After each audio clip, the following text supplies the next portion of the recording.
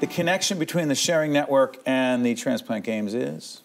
Well, we're, we're thrilled to bring a national program here to New Jersey. It's going to be in New. Jersey. It's finally going to be in New Jersey. We're really excited. Big deal. Yes, I think our entire community is just thrilled.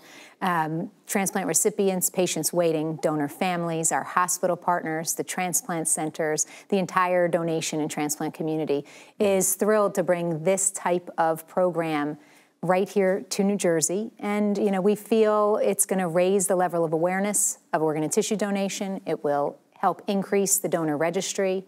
It will certainly get this conversation started around mm. the dinner table. Uh, it's a very important conversation for people to have, and, and we're thrilled to be hosting. I work for Horizon Blue Cross Blue Shield, and I'm a catastrophic case manager. I'm a nurse. I feel a sense of responsibility to each and every member that I speak with on the phone.